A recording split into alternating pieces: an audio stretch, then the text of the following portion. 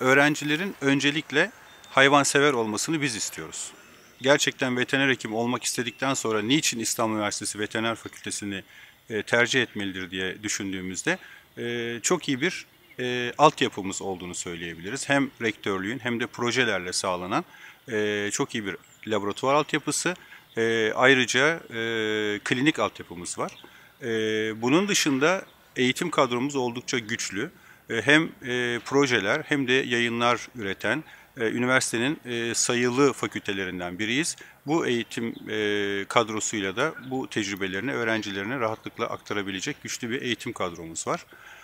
Bunun dışında hem Ulusal Akreditasyon Kurumu VEDEK hem de Avrupa Birliği Akreditasyon Kurumu veteriner eğitimiyle ilgili akreditasyon kurumu olan EAV tarafından 2016 yılında akredite olduk. Yani akredite bir fakülte olmamız bizim için tabii ki büyük bir avantaj.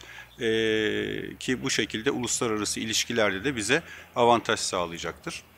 E, artı tabii İstanbul Üniversitesi'ne e, bünyesinde olmak, İstanbul'da olmak, e, yaklaşık 30'a yakın veteriner fakülteler arasında bizim tercih edilmemiz için e, şehir avantajımız olduğunu da düşünüyorum. Çünkü İstanbul ayrı bir fakülte gibi zaten.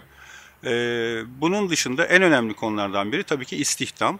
Ee, özellikle Avrupa Birliği sürecinde e, bu görüşmeler kapsamında veterinerlik hep öne çıktı e, ve son yıllarda belki de istihdam sorunu en az olan e, mesleklerden biri olduğunu söyleyebilirim. Uluslararası ilişkiler anlamında Erasmus dışında ikili anlaşmalarımız olan e, yaklaşık 10 tane fakülte hatta onun üzerinde fakülte var. Bu fakültelerle öğrencilerimizin 15 gün süreyle bu fakültelere gönderiyoruz. Bu fakültelerden de e, bize aynı şekilde 15 gün süreyle geliyorlar. Bütün masraflarını iki taraf karşılıklı olarak karşılıyor. Ee, ve e, yaklaşık 50 tane öğrencimiz yurt dışına giderken aynı sayıda öğrenciyi de fakültemize kabul ediyoruz. Ee, çok iyi bir hayvan hastanemiz olduğu için de e, yurt dışından da biz tercih edilen bir fakülte konumundayız.